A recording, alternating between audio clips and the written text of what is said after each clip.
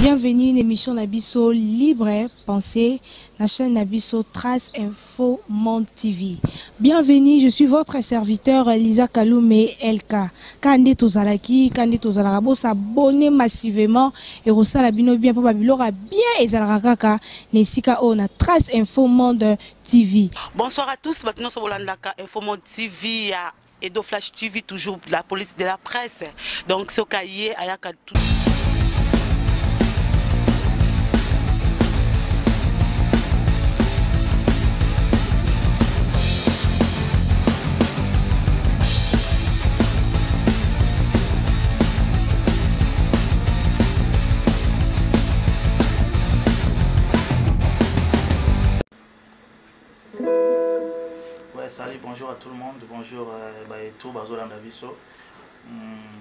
c'est Mister Kimbangu the king baoyo bayebi na komba Kimbangu te baoyo bayebi bakomba Luxembourg donc euh, naza soliste congolais chanteur artiste musicien artiste complet euh, nabandi carrière na ngai na 2006 bon ça, euh, 2006 ça veut dire que koyebana quoi parce que nabandi déjà carrière nabandi kobeta guitare depuis 2012 et 2000 pardon 2005 et euh, na 2005 et 2006 naintegraki groupe Wing, euh, les marquis des samouraïs de bill clinton kalanji Je salie na pesi mbote kota zali. Hmm, na 2006 euh, na betaki euh, première première euh, misapi na nga na beta na ezalaki na publicité ya ya Skol. Boyebi eza brasserie moko ya monene na kati ya mboka na biso. Donc euh, ezalaki matisa pression. Donc euh, bon, matisa pression quoi. Bon, tolinga tomi kobeta matisa pression, boyeba matisa pression ezalaki nini, donc euh, voilà quoi. Malgré tokobeta yango mobimba te, nakobetela bino mwa ba, ba, ba 2 minutes, 2 minutes, 2 minutes, 2 minutes mpo to, toyeba nini oyo tozolobela quoi. Donc voilà quoi. Donc na 2006, nabetaki, ezalaki, euh, ezalaki générique oyo ya matisa pression.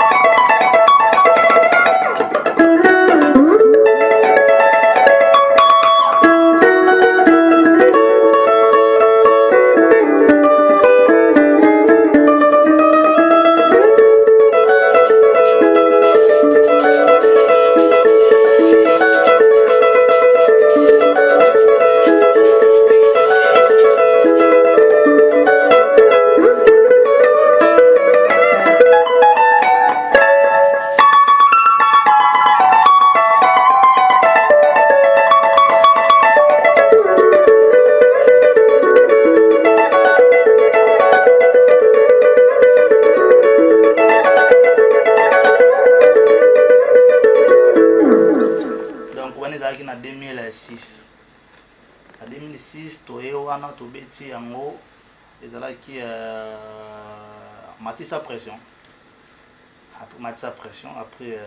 toye ko préparer album oyo tobengaki na kombo ya ya palpitation totale oyo tokando obenga balle perdue balle perdue ezalaki na 2000 2007 2007 ezalaki balle perdue place oyo nabetaki euh,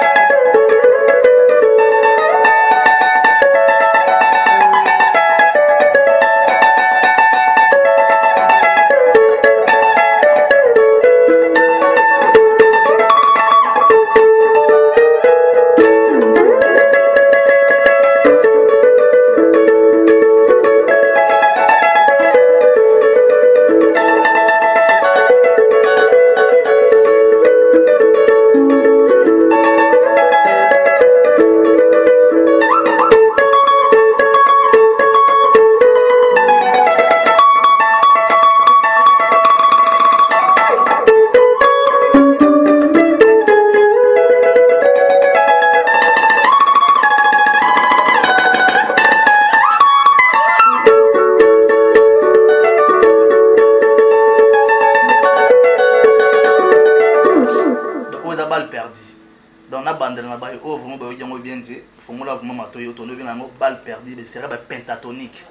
oyo bill clinton ma olobaki ale luxembourg sikoyo tobi pesa bango sikoyo exercice ya macaroni exercice ya macaroni oyo boyokaka euta nde awa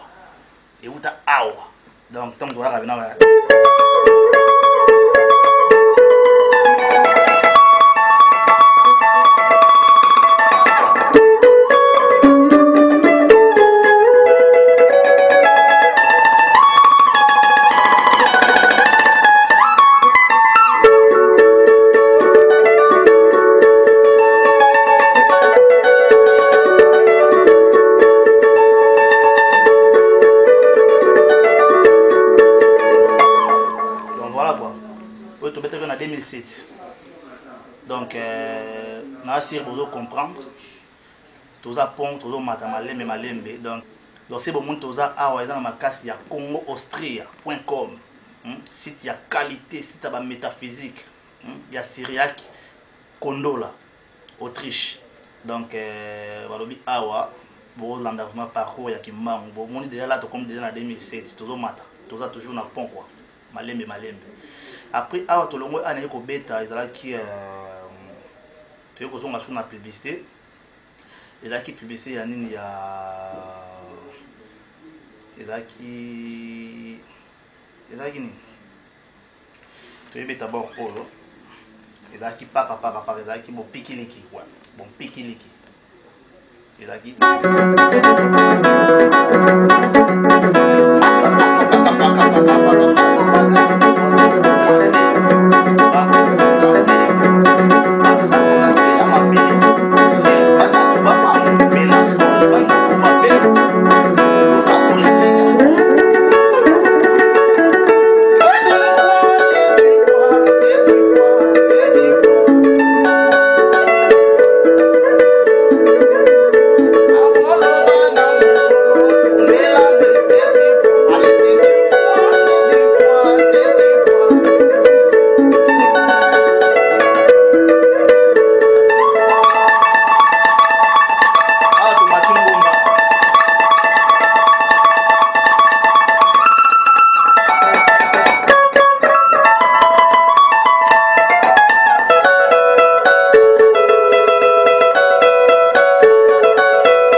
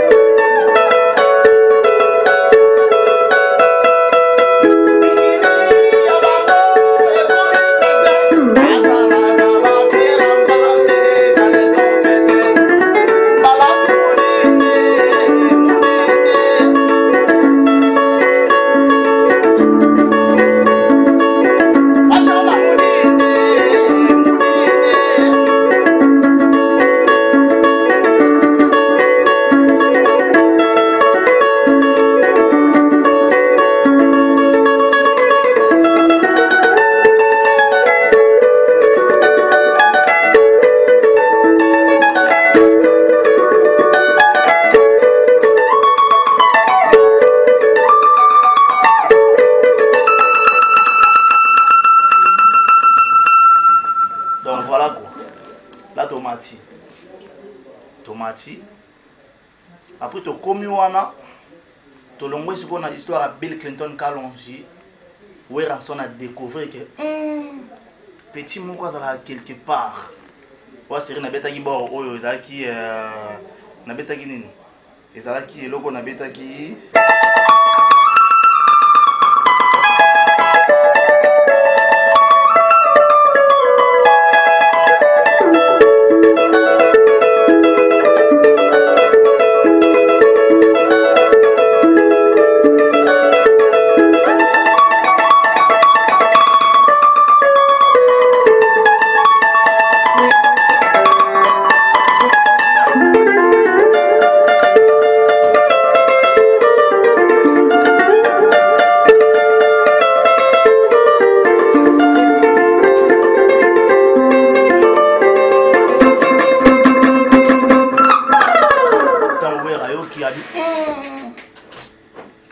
nzambe te face na bakoto oyo kasi ebendaki sikoyo mbutu mbutu entre bill clinton et weranson naye cointegre euh, groupe wenge musica maison mare na 2009 Na 2009 na koti na groupe eh, na 2009 ta na koti nayebi ke eloko oyo bana fikini vraiment bana Kinshasa balelaki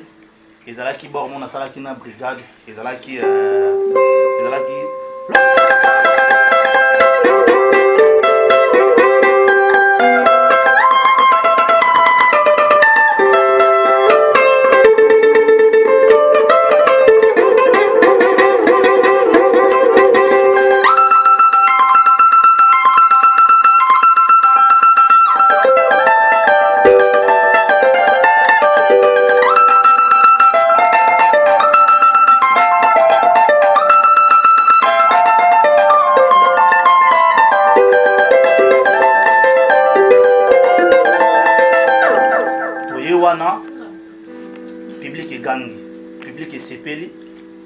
oyo alobi est ce que oza lisusu na eloko mosusu okoki koprouve tokomi bafanatike ya maison mare parce que awa oyebi ke bandimaka bato te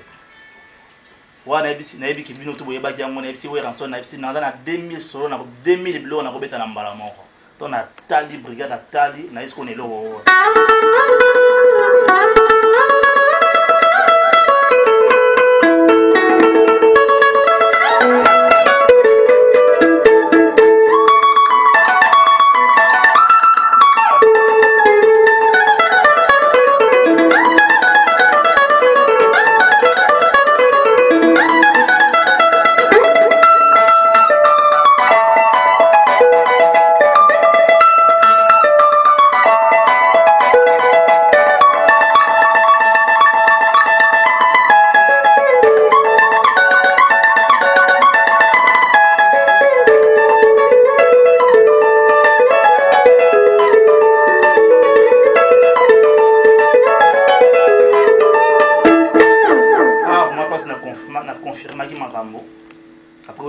kopesa ngai chance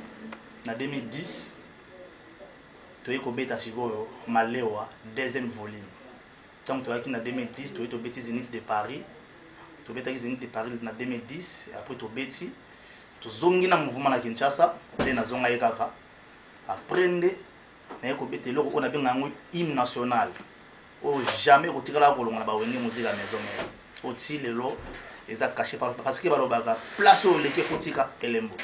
nde tomona lelo bavie na biso babill clinton bafere bato tu batika baelembo bamouvement bauta neti nga pe natika elembo eloko na benga yango hymne national ntango na ye weranson alabi ok tozwi yo tondimi sikoyo opesa biso eloko nini oyo bombela ye biso ndongo obeta pa bill clinton awa omemeli biso nini nde nakomela bango eloko oyo yango bomoni lelelelelele ebetama partout totambola afrique mobimba tokenda parci par là Sey wera gangi gangi. Kimbangu e. Kimbangu. Donc naza le seul soliste oyo alobaka na guitare. Est-ce que ozoyoka ngai? Est-ce que ozoyoka ngai? Soki vraiment eza yo, mema biso sikoyo na biloko ya ba pentatonique ba aluminium.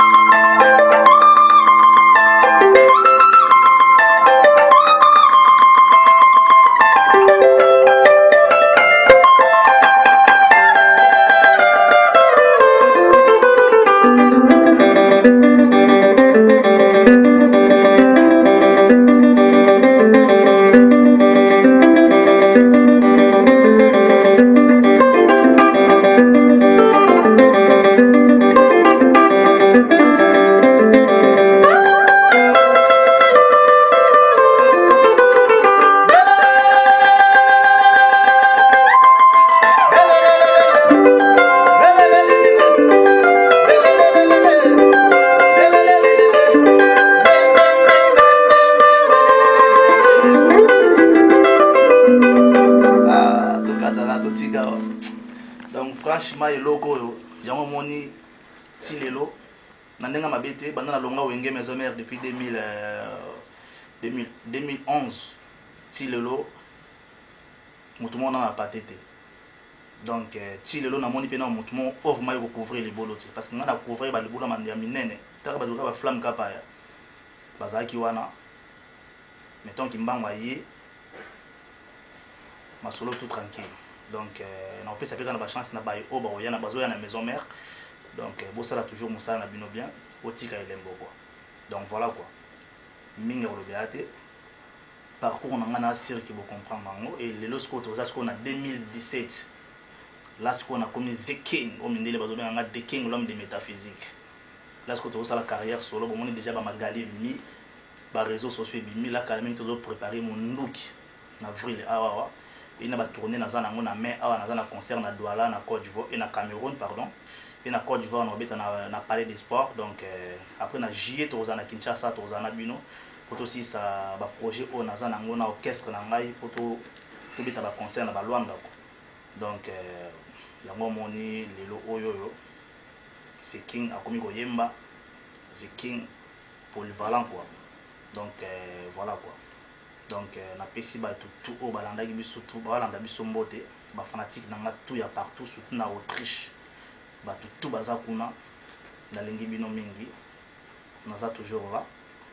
euh, mpo na kosala bino plaisir topesa bino kaka mwa extrait ya mokie ya mondoki ya boko ezoya magali déjà bokonsoma bokonsoma yango déjà naza naoteka na iTunes naza partout nauti osini na label, label musique digitale donc euh, makambo tout ça va